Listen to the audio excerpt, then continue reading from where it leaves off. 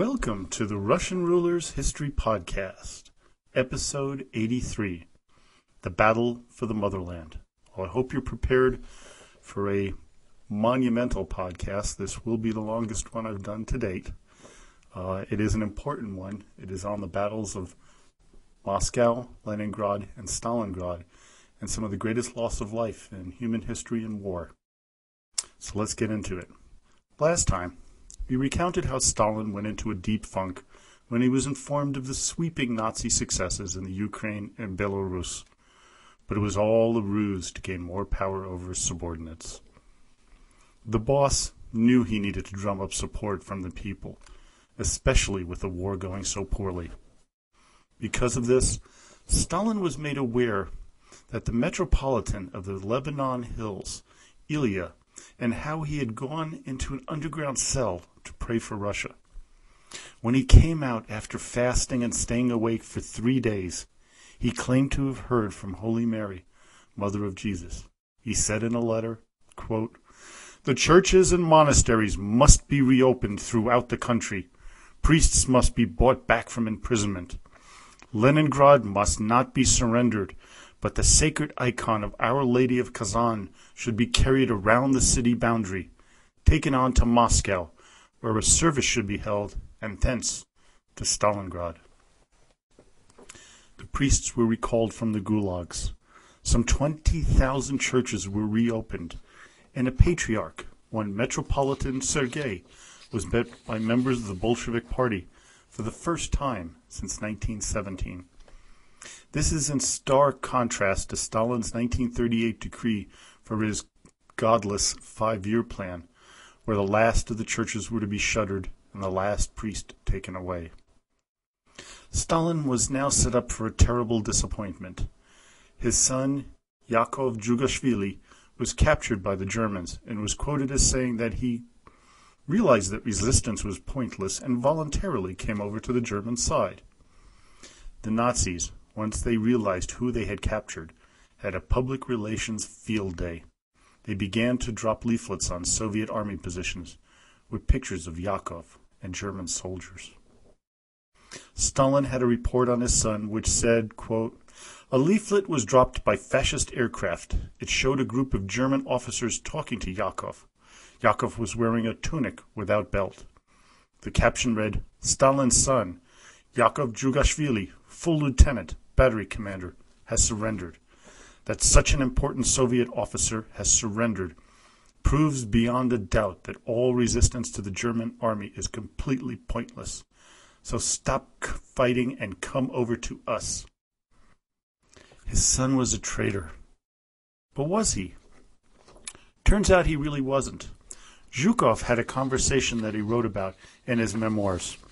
Quote, Comrade Stalin, I said, I've been waiting, wanting for some time to ask you about your son Yakov. Is there any more news of his fate? He did not answer my question immediately. He took at least a hundred steps around the room and then said, in a strangely muffled voice, Yakov will never escape. They'll shoot him, murdering swine that they are. From what we've been able to learn, he is kept isolated from the other prisoners and is under pressure to betray the motherland. He was silent for a moment, and then added confidently, Yakov would sooner die than betray his motherland. He sat at the table for a long time in silence, without touching his food. In 1943, Yakov, knowing that his capture was a disgrace, made a dash for the electrified fence, feigning an escape attempt. He was shot in the head after numerous warnings to halt. There are others who claim that he committed suicide after learning of the massacre in the Katyn forest ordered by his father, and others say he was murdered when Stalin refused to swap his son for Field Marshal Paulus. Order number 270 was now being put into full force. Families of men who were captured were being executed publicly. Generals and officers who had led their men in retreat were shot. As this report shows, there was little hesitancy in carrying out the order. Army General D. Pavlov, formerly commanding the Western Front, V. Klimovsky, a former chief of staff, A. Grigoriev, former Chief of Communications, Western Front, being found guilty of cowardice, inaction, mismanagement, and deliberate disorganization of the troops, are to be shot. German General Blumentritt reported, quote, The conduct of the Russian troops in retreat was strikingly different from that of the Poles or the Western Allies. Even when they were surrounded, they did not leave their positions. General Hyder wrote, Russia, a colossus that deliberately prepared for war, was underestimated by us. When the war began, we had 200 divisions against us. Now, on August 11, 1941, after the blood losses they have suffered, we estimate the number of divisions as 360. Even if we smash a dozen of them, the Russians will organize another dozen.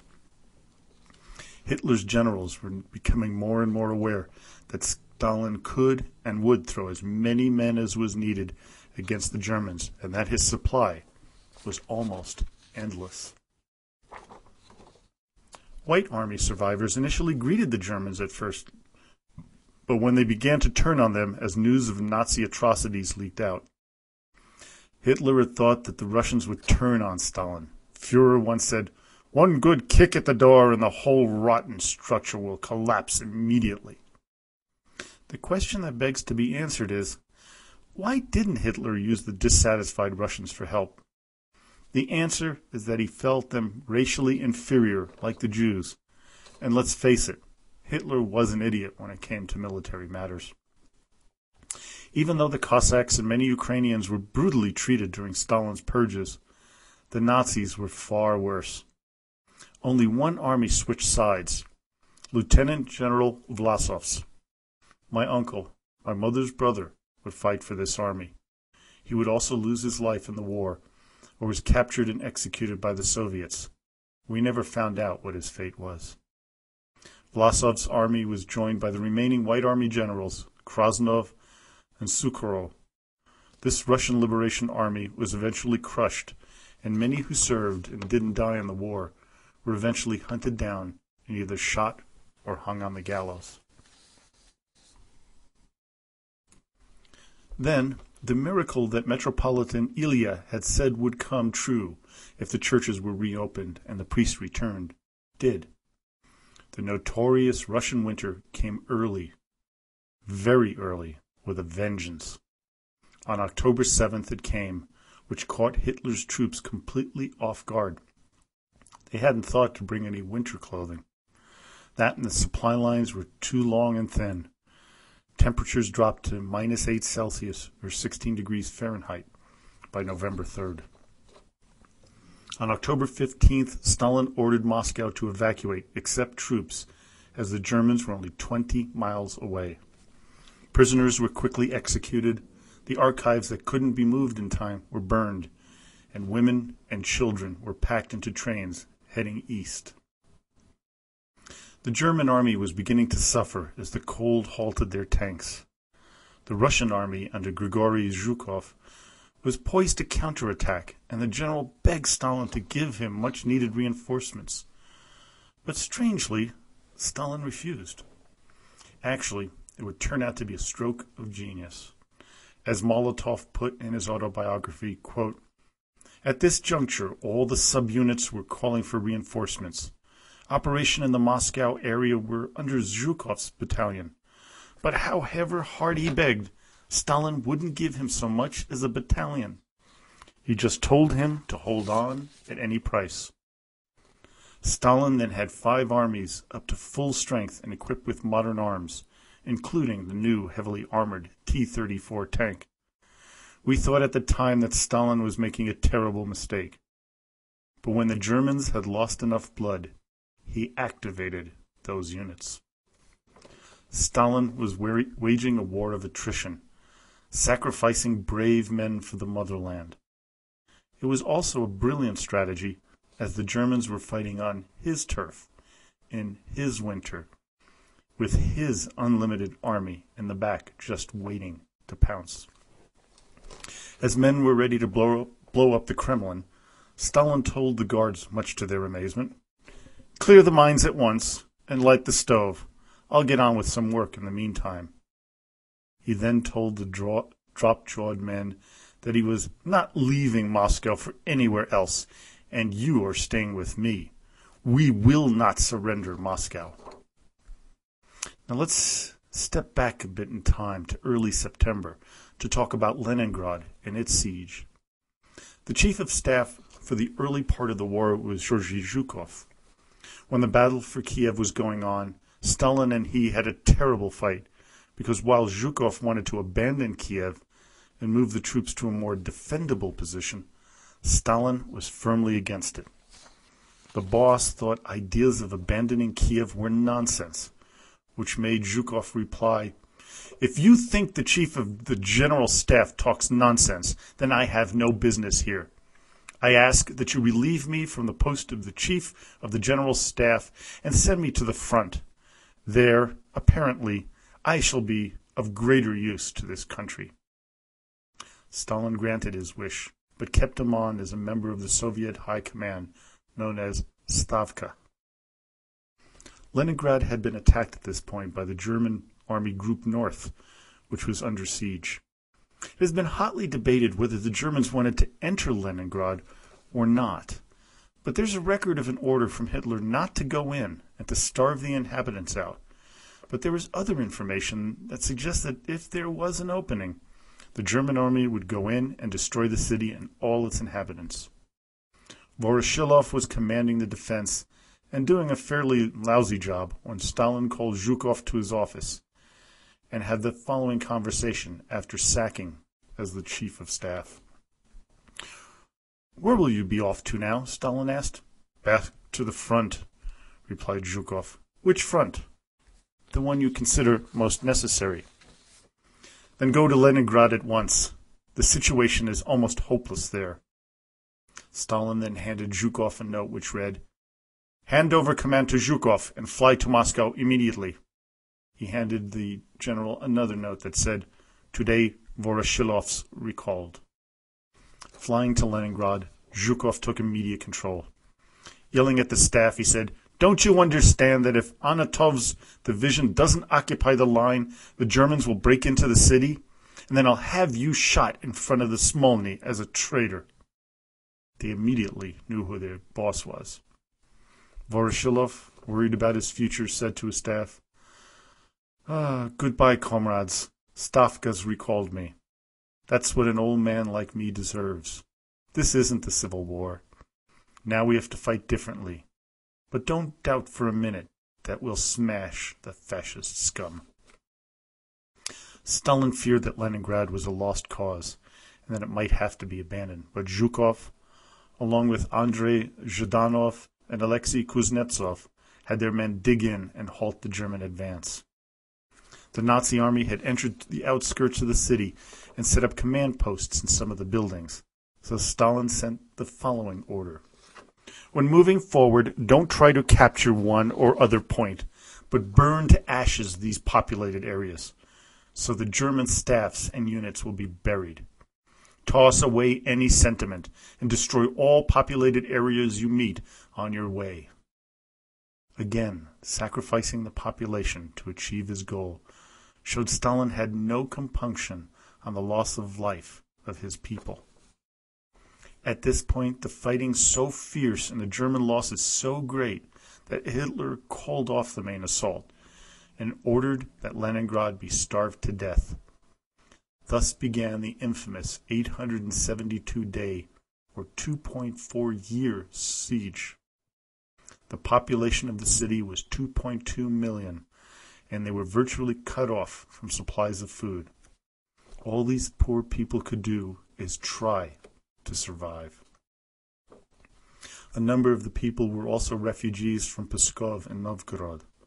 Estimates say that there were about 300,000 of them.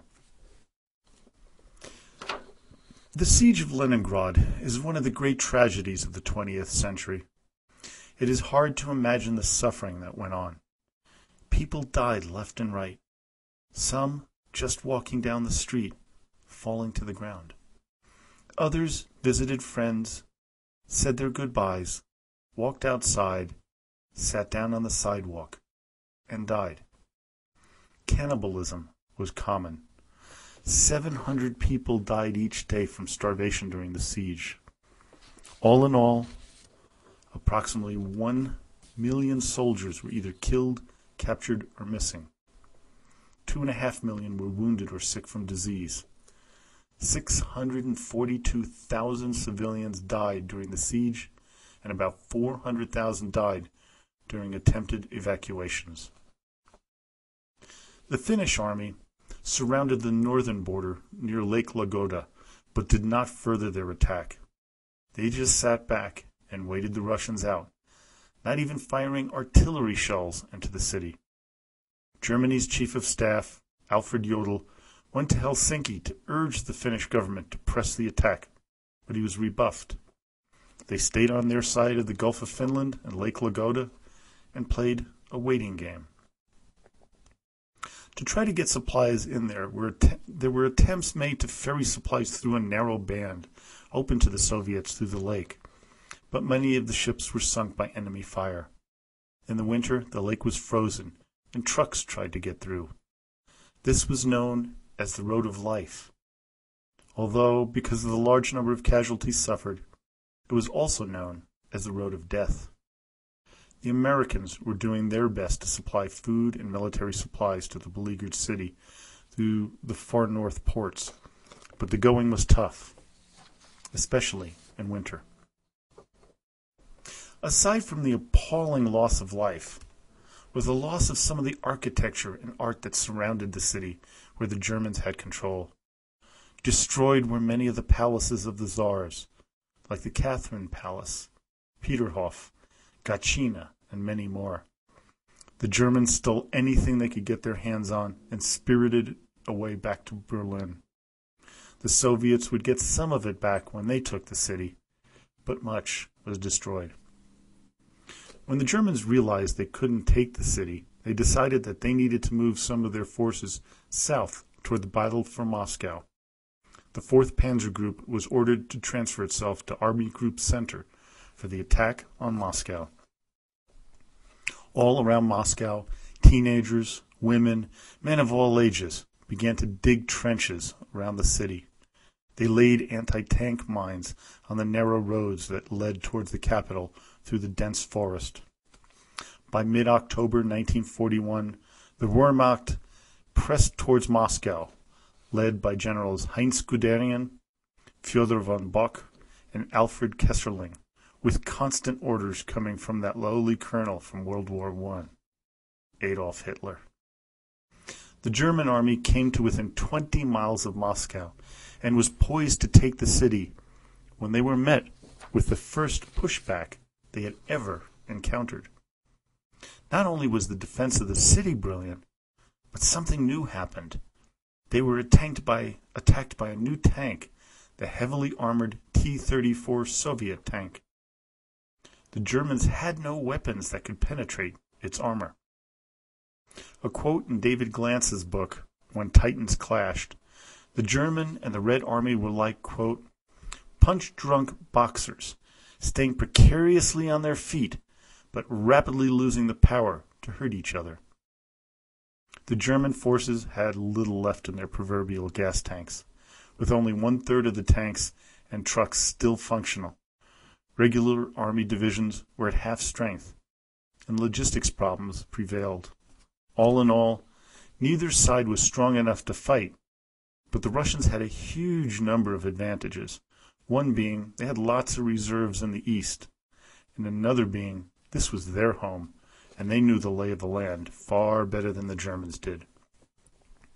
The winter had dug in, and so did the Red Army.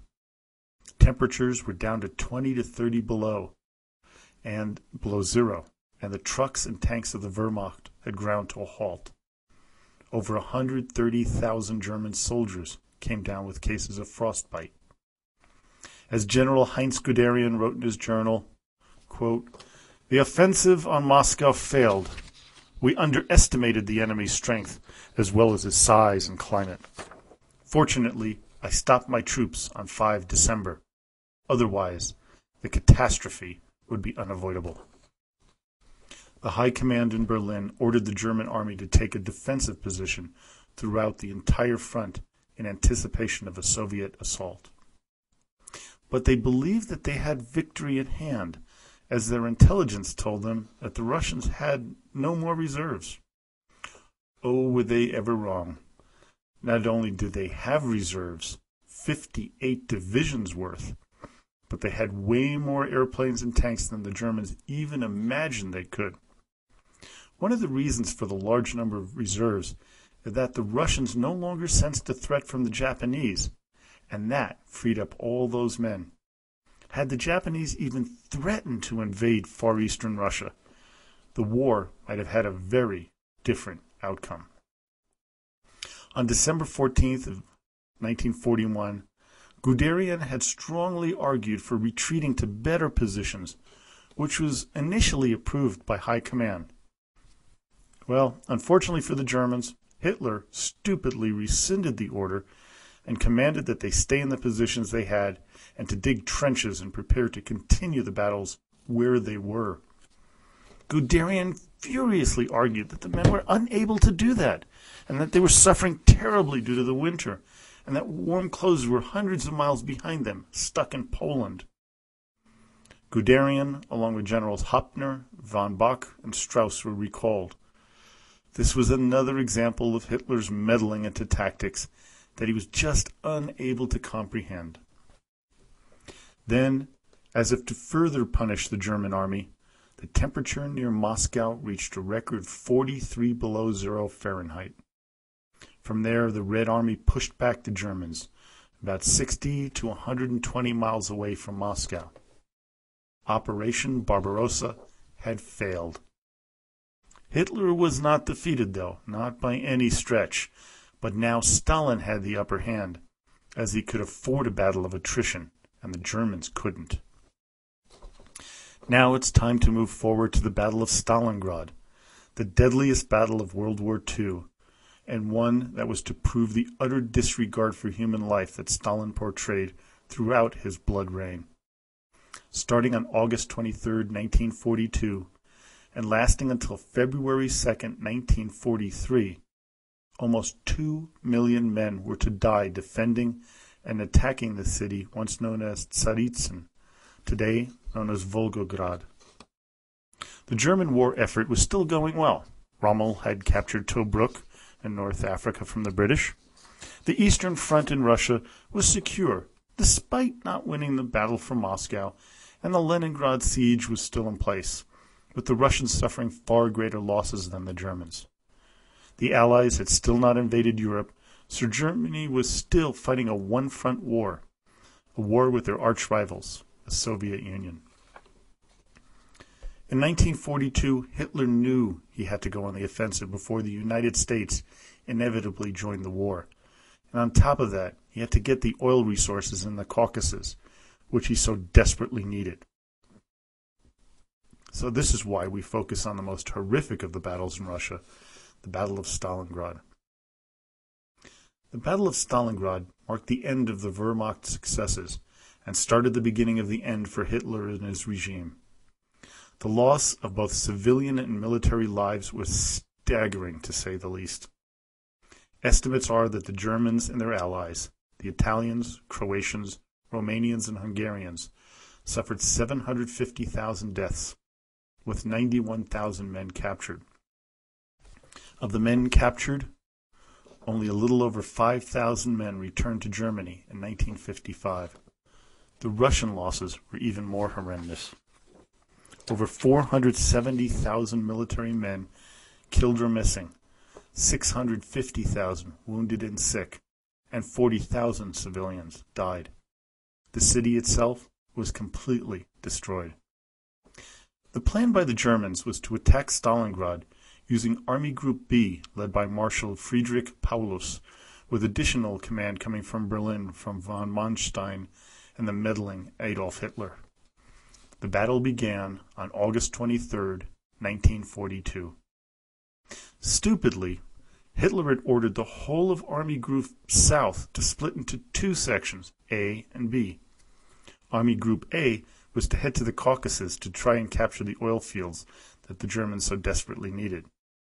Show how meddlesome and idiotic Hitler was at this time, he ordered the 4th Panzer Army to link up with Army Group A, but when it arrived, the ensuing traffic jam stopped the advance completely. Then Hitler ordered the 4th Panzer Army head back and rejoin Army Group B, wasting valuable time and precious resources. On the Red Army side, Commissar of the region Nikita Khrushchev and uh, Marshal Andrei Yeryomenko were assigned the duty of defending Stalingrad. With them, they started out with a mere 187,000 men, but when they reached full strength, the number swelled to 1.1 million. The initial foray into Stalingrad was provided by the Luftwaffe, who dropped 1,000 tons of bombs on the city, effectively leveling it. Thousands of civilian and military casualties re- resulted from the airstrikes. The anti aircraft defenses, the 1077th Anti Aircraft Regiment, a unit made up mostly of young female volunteers who had no training for engaging ground targets but fought bravely to the last against what was now a full-fledged panzer divisions. The Germans were shocked to see that they had been fighting women as they came into Stalingrad. Within Stalingrad, factories that produced the heavily armored T-34 tanks continued producing them throughout the initial phases of the battle.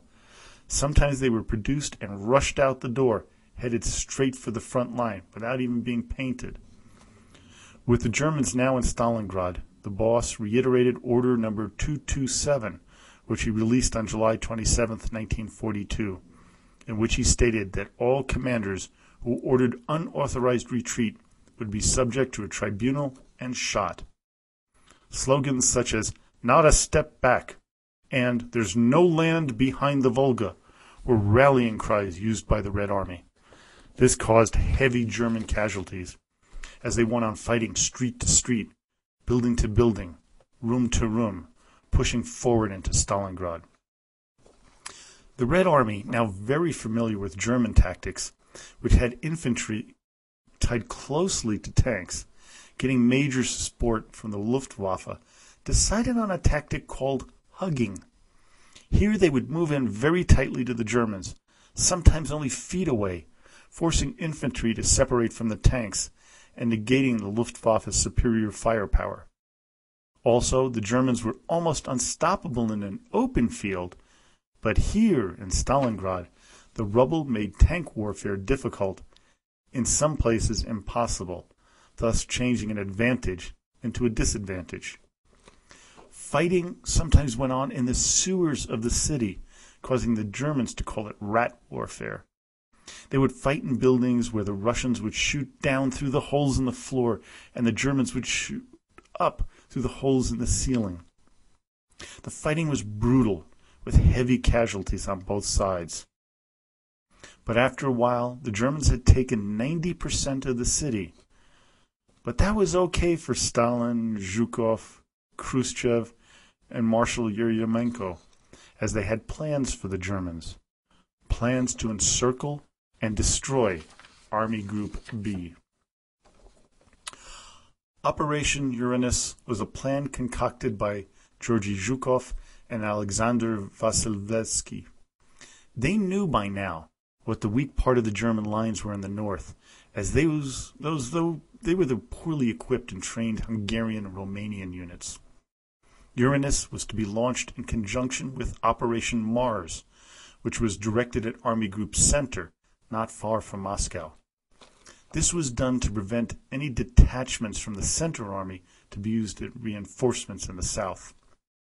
Another part of the plan was to squeeze the Germans in Stalingrad from the south and the north, then perform a double envelopment, one circle pointing inward to prevent escape, and one circle pointing outward to prevent reinforcements. It's a similar tactic that Julius Caesar used in subduing Gaul, defeating Vercingetorix at the Battle of Alesia in 52 BC, some 2,000 years before. On November 19, 1942, Operation Uranus commenced, led by General Nikolai Vatutin. The Red Army counteroffensive included the 1st Guards Army, 5th Tank Army, and 21st Army. It also had 18 infantry divisions, 8 tank brigades, 2 motorized brigades, 6 cavalry divisions, and 1 anti-tank brigade. First the northern flank was attacked, following by the southern flank being attacked the next day. Within days, over 290,000 German soldiers were encircled, as well as 10,000 Red Army soldiers. Hitler ordered that his men not leave the city, and they, they should fight the Soviets any way they knew how. Goring swore that the Luftwaffe could supply the men inside the city using an air bridge, but that failed miserably, as the air defense surrounding the city was vastly improved from the earlier battles. Then, as always, came the Russian winter. Manstein tried to relieve the trapped men in Operation Wintergewitter, but the Red Army held their ground and repulsed the December attack. On December 16th, Operation Little Saturn was launched by the Russians to retake Rostov. Although it failed, it caused Manstein to take forces meant to relieve the Stalingrad forces north. This sealed the fate of the men inside the city.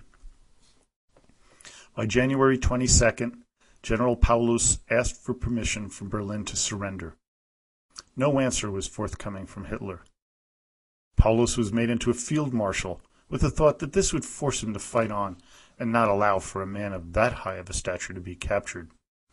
Hunger was killing many of his men, and by now their ammunition was beginning to run out. Zhukov decided to squeeze harder. An offer to surrender was given and rejected, but by February 2, 1943, the Germans decided enough is enough and surrendered. Out of the 750,000 men who went into Stalingrad, only 91,000 marched out. As I mentioned before, 27,000 died on the march to the internment camps, many from typhus. It was a crushing defeat of the once mighty Wehrmacht and signaled the beginning of the end of the war in Russia. General Paulus, for his part, remained in the Soviet Union until 1952, when he moved to the East German city of Dresden, where he lived out the last three years of his life, convinced that he did the right thing by surrendering. Operation Mars, going on almost simultaneously with Operation Uranus, was launched in the Rzhev and Veliki Luki salients. For those who don't know what a salient is, it's kind of like a bulge into enemy territory. You might be familiar with the western salient that the Germans created, known as the Battle of the Bulge. The Soviet offensive was led by General Georgy Zhukov, with the Germans in their defensive positions led by German General Walter Model. In the beginning of the battle, conditions were just atrocious. On the morning of November 25th, 1942, it was foggy and snowing. While the Red Army was launching a ferocious artillery barrage, no one was able to see if they were hitting their intended targets or not. Compounding things, it was so hard to see that sometimes the Russian infantry would race by a German stronghold, which was still fully functional, and they would get caught behind enemy lines. Attacks and counterattacks continued day and night. The Germans, short of reserves because of the Battle of Stalingrad, fought against all odds as they were outnumbered by an estimated two to one. Wave after wave of infantry, tanks, and artillery came at the Germans, but they were consistently repulsed, inflicting severe losses on the Red Army. The goal of Operation Mars was to crush the Germans in the center and then hook up with the divisions of the Red Army north near Moscow. This part of Zhukov's plan failed miserably and cost the lives of 100,000 Russians with 235,000 wounded. For this reason, the battles were known as the Rzhev meat grinder. The Germans, for their part, lost 40,000 men, which they were ill equipped to lose. Furthermore, the operation did have one benefit for the Soviets. The Germans realized they couldn't hold the salient, and they were forced to retreat. Considering the superior forces that Zhukov had, it is not surprising that this battle was not well known in the West, as the Soviet propaganda machine dismissed it as a mere diversion for the Stalingrad offensive. But as author David Glantz puts it in his book Zhukov's Greatest Defeat, the Red Army's Epic Disaster in Operation Mars, quote, in the unlikely event that Zhukov was correct and Mars was really a diversion, there has never been one so ambitious, so large, so clumsily executed, or so costly. In Leningrad, preparations were being made on both sides to go on the offensive. The Soviets had the Sinyavino offensive planned for early autumn in 1942, using the Second Shock and the Eighth Armies to try to lift the blockade. The Germans were simultaneously planning Operation Nordlicht to take the city. On August 27th, the Russians began the attack. It was a mad plan, and within two days, the shock, Second Shock Army was encircled and destroyed. But the upshot of the operation was that it did halt Operation Nordlicht and stop the Nazi attempt to take Leningrad by force. Operation Iskra, or in English, Operation Spark, was started on January 12, 1943. Fierce fighting went on for six days around Lake Ladoga, when on January 18th there was a breakthrough by the Russians, and a narrow seven mile corridor on land was achieved, allowing for more supplies to get into the beleaguered city. Still, it would be more than a year before the siege was fully lifted and the rout of the Germans began. Well, I hope you enjoyed today's monumental podcast. It was a hard one to work on emotionally due to the enormous amount of human suffering that occurred during these battles. Next week, we're going to begin to cover Stalin as he leads his country in reversing all the previous losses and begins the drive of the Germans back to Berlin. We'll also begin to see how Stalin begins to play on the world stage with people like Winston Churchill and Roosevelt. Now, please don't forget to visit the new website that's just being constructed at www.russianrulershistory.com. And also, uh, those of you might not know, we have a, a Russian Rulers uh, iPhone app that's available through the iTunes Store. Uh, also, you can join us on Facebook at Russian Rulers History Podcast so you can ask a question, leave a comment, or make a suggestion. But now, as always, до свидания и спасибо большое.